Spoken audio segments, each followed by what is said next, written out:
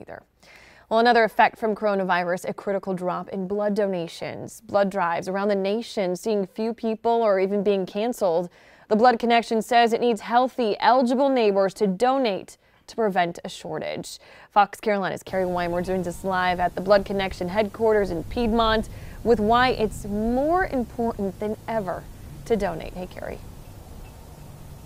Hey, Tori, you know, unfortunately, blood is not something that can be made or manufactured. It's something humans have to donate.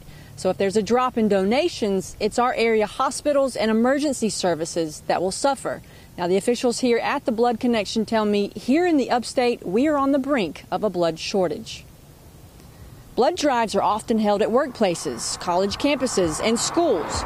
Now, with the increase of closures across the upstate to avoid congregating in large groups, the Blood Connection says there is a significant drop in donations.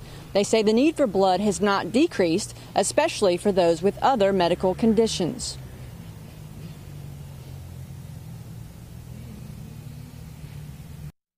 They don't have a choice. They're in the hospital, not because of coronavirus. They're in the hospital because they already had cancer. They already had a blood disorder. They had to have a surgery.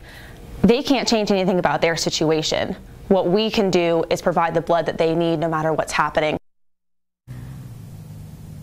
According to the FDA and the CDC, there is no data that suggests the coronavirus can be transmitted through blood transfusions. The Blood Connection says the procedure to donate is safe, and they are taking extra precautions in regards to social distancing.